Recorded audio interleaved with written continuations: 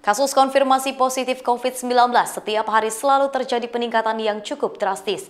Tim Satuan Tugas Penanganan COVID-19 Kalimantan Tengah melaporkan pada hari Sabtu tanggal 12 Februari 2022 pukul 15.00 waktu Indonesia Barat, jumlah kasus konfirmasi positif di Kalimantan Tengah sebanyak 235 orang.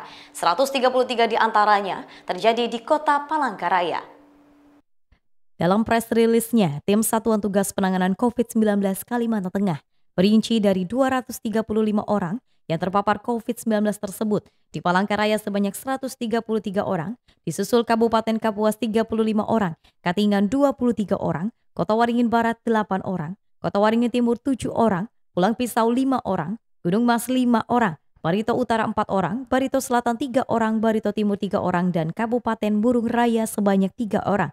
Sehingga dari semula 47.546 orang menjadi 47.781 orang.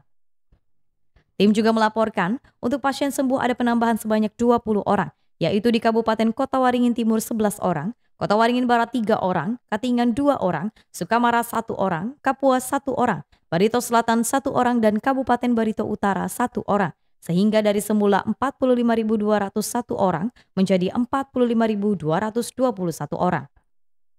Sementara pasien dalam perawatan ada penambahan sebanyak 215 orang, sehingga dari semula 750 orang menjadi 965 orang. Sedangkan kasus meninggal dilaporkan tidak ada penambahan, sehingga tetap menjadi 1.595 orang dengan tingkat kematian 3,3 persen.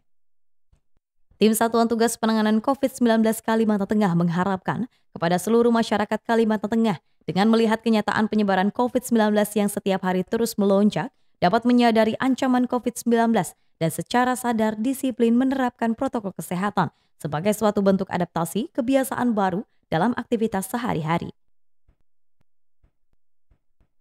Dari Palangkaraya, Kalimantan Tengah, Tim Liputan iNews melaporkan.